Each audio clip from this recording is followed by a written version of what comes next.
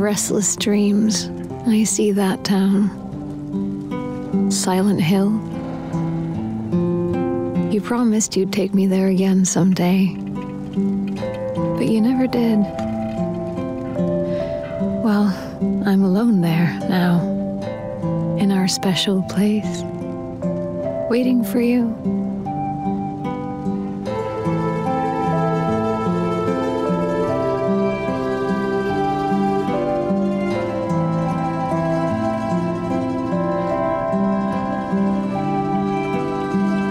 I got a letter. The name on the envelope said Mary. My wife's name. It's ridiculous. Couldn't possibly be true. That's what I keep telling myself.